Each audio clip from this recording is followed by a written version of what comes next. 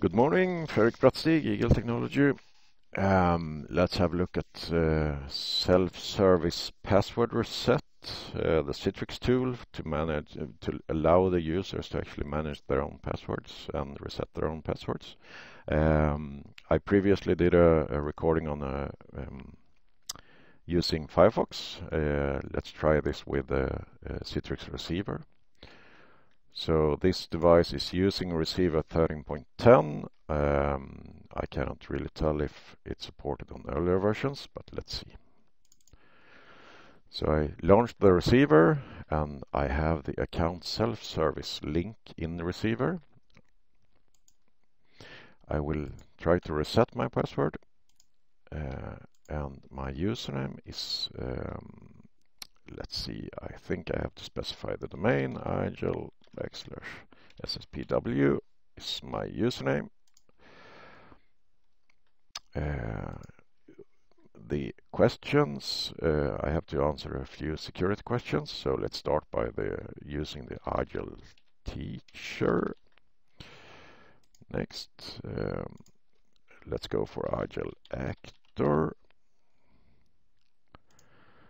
Uh, let's go for IGEL movie and let's go for IGEL Town. So now I set up my account or I actually those questions were actually already um, specified at earlier stage uh, when I did the receiver for web uh, version of this. Um, this means that uh, it's already pre-configured. I think that might be a requirement actually to do this as I didn't have the possibility to do to run the uh, self-service um, password reset wizard. Um, there is a task in the initial part of, of uh, the receiver for web where you have to specify the answers to those questions that I just answered. So I will remove the domain name actually from uh, this. Uh, I cannot do that. So okay, let's do IGEL 2018, IGEL 2018, and reset. So uh, the answers were, uh, the questions was answered successfully and your password has been reset.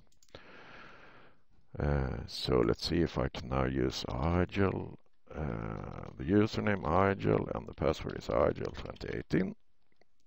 Log on. Uh, okay. Igel2018. Um, no, sorry. Wrong on me. SSPW is the username and the password is Igel2018. You need to remind your own name.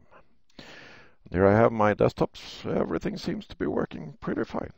Uh, that's all for now. Thank you.